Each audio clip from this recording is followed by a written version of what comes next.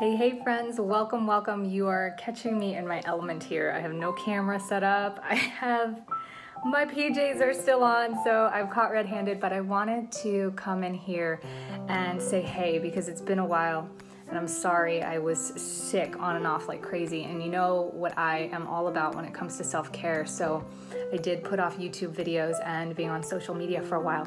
But I did want to drop in before the end of this holiday season rolls around with five tips on how to survive the holidays. And this is not only if you have adrenal or chronic fatigue, but just in general, if you have a tendency to feel busy or like things get overcomplicated and then you find yourself overwhelmed or not completely rested up after you're supposed to be on vacation or holiday, then this video is for you. So there are five tips, and I keep to this for myself every holiday that comes around. It's been so vital to leave the holidays feeling good and totally refreshed, refreshed and totally ready to conquer and tackle the new year. So, uh, quarter four or the holiday season is usually when I allow a lot of slack or a lot of um, giving to myself, really. Um, and then typically the top of the new year is when I hustle.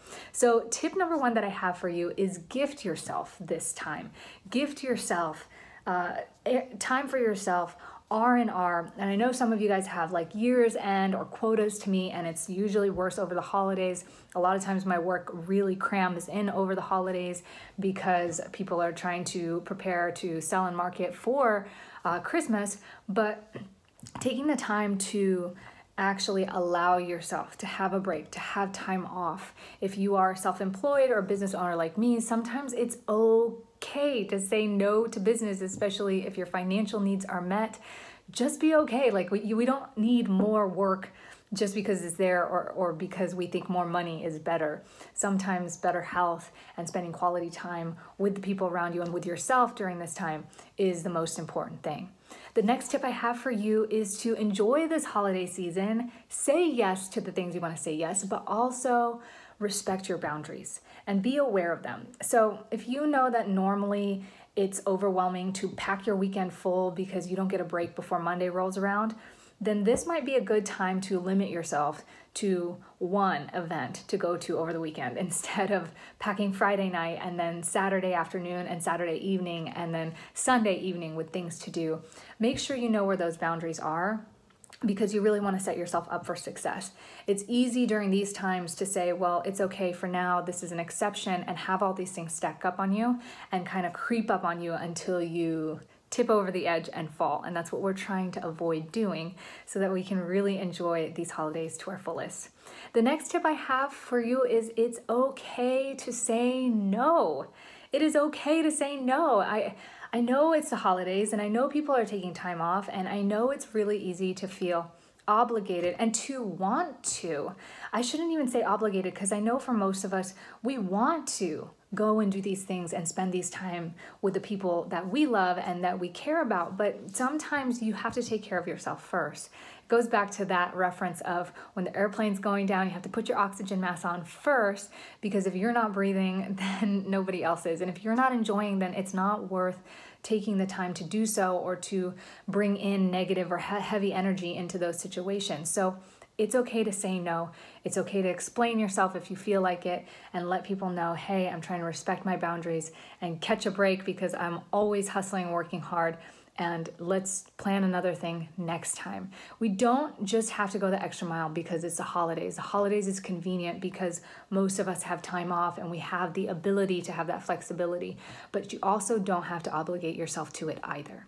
The next tip that I have is don't overschedule. This kind of goes with respecting your boundaries and being okay saying no, but I also wanted to put this down as its own thing because sometimes we overschedule ourselves. We say, today I'm going to clean up the whole house, then I'm going to decorate all the Christmas decorations, and then I'm going to prepare the the bread that I'm baking for, you know, tomorrow or the next dinner or whatever. And we have a tendency to overbook our day and to want to accomplish so much. And it's so important for us to take it easy. I I absolutely love the idea of going the extra mile and putting in effort to give and to show up for other people. I'm all about that. So do those things, but just don't overdo it. Don't overschedule yourself. Lastly, watch your food and sleep. So it's the holidays. We don't have to wake up early if we're going to work usually. So we stay up late, watch movies, play games, drink, maybe have more coffee during the mornings, maybe eat more sugary foods. The snacks are always around. And if you don't watch your food and your sleep, this will pile up on you. And by the end of the holidays, you just feel totally worn out. It was fun, it was good, but uh, exhausted, not ready to start the new year again. So it's so important. I like to tell myself to first eat all of the food that I need. So a lot of times we go to dinner or we have potlucks or we have parties and I'll eat the food that I know is good. I try to make the good choices first, have salad, eat my meal, and then I'll be eyeballing like the sweet treat or the extra something that I want to taste or try. And typically when I do that, it helps me not over consume those things. Because you'll notice like people will bring the treats out first and you start snacking on it and then you're not really hungry for your actual meal. This offsets and throws our body off balance so badly. And then i also stick to allowing myself up to two if I'm really good late bedtimes during the week. And then I really focus on those five days of getting really good rest and just really sticking to it so that I maintain a good sense of balance of energies throughout the rest of the season. So I wanted to pop in here and say thank you so much for your patience.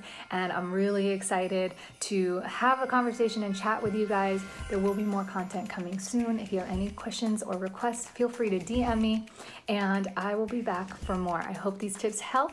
If you like it, let me know by hitting thumbs up because I don't know if my comments are here yet.